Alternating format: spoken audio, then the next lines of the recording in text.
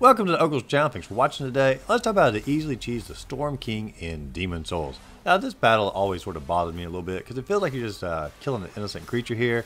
Uh, it really didn't mean any harm, and it's just a such a majestic, innocent looking creature. And uh, I actually feel pretty bad about this battle. But regardless, we're going to figure out how to cheese it and get an easy victory for it. Now, as soon as you head into the Fog Gate, of course, you're going to want to go and get the uh, Storm Ruler and go ahead and grab that sword because you do have to have that uh, particular weapon for the battle. Now, once you've gotten that weapon, I recommend just simply hiding behind this little uh, pillar here.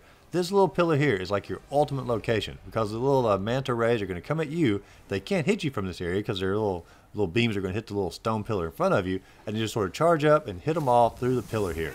Super easy to do and you'll have almost all of them defeated. Once you have him defeated, the main Storm King is going to come down, and you're basically going to wait till he gets to this position right here, and then you can come out from your little hiding area, get several hits on him, and then go back to your hiding area. This little archway right here is the perfect spot to block pretty much all of his little daggers going to shoot at you. If any of the other leftover little mantas come at you, you can get them from this little area as well. It blocks every one of their attacks and gives you pretty much the ultimate protection.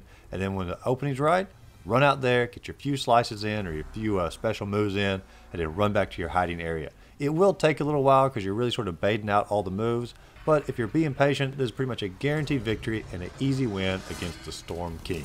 If you enjoyed this video, be sure to like and subscribe to the channel. Check out my other videos listed up above, and as always, go out there, find a great game to play, and just simply have a great rest of the day.